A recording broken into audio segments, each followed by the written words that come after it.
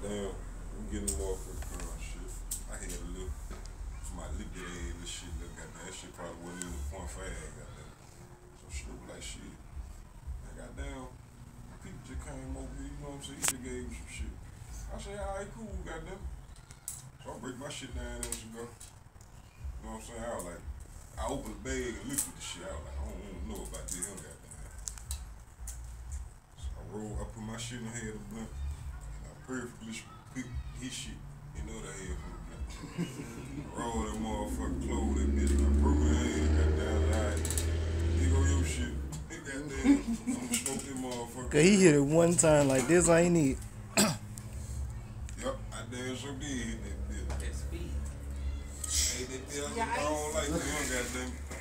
He say, shit, give up. She hit that bitch about one, two times, goddamn.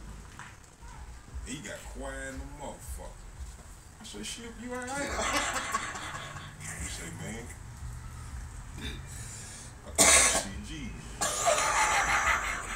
I say, what? he talking about, bro, I'm high as a motherfucker. I like, ain't no way, that shit smoke better than me, goddamn. I mean, you might need to put that bitch out, goddamn. Yeah. Yeah, yeah, bro, I'm high as a motherfucker. So, goddamn, but what you do, goddamn, you gave this shit to some motherfucker, man. Yeah, I gave that bit to one of my classmates. Cause you let me hit your blunt one more time. But I end up Somebody from Don't know. But yeah, I was tripping balls, and I ran to my homeboy goddamn during goddamn going to break. I was like, shit. I got a piece of blunt, you want it? That nigga mm-hmm. like, shit, give it here. Man, I took out my shoe so fast, I was like, here you go. Squad niggas will take anything. Man, that man took that bitch, ran out the side door.